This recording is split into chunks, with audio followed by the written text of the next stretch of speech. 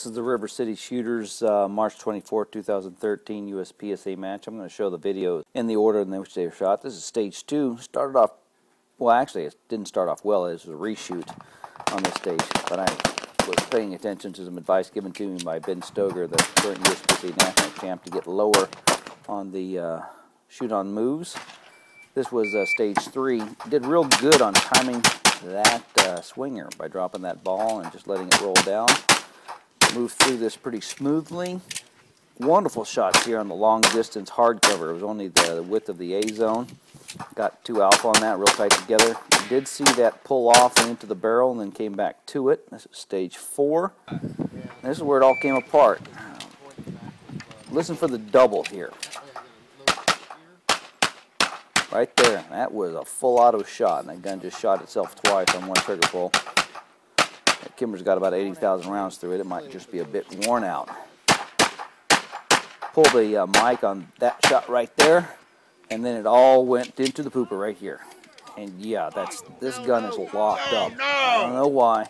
It is not budging. It is just like cement, baby. Finally, I get that thing to break through. Watch as I rack two rounds out of it onto the ground. It's coming. There they went, right there. Let me look at it. Like I know that I got nothing left to do and fire the six shots I can. There's uh, two mics and a uh, penalty procedural for failure to engage. Uh, try to recover here on the classifier. That worked too bad. Nice and clean on a tough classifier. And then these two, or six shots, I actually pulled a mic no shoot into uh, uh, one of those. It ruined that, run it from a 96 down to about a 65% on the classifier. Went to finish it off. Everything's running good right now. Good, across the gap, into the steel. Don't ask me why I did that reshoot. I don't know why I did that reshoot.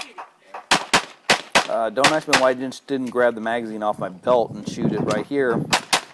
What the videographer doesn't show you is that I had to reach down, pick up a magazine off the ground to finish off. Once again, why didn't I grab the magazine off the belt? I don't know.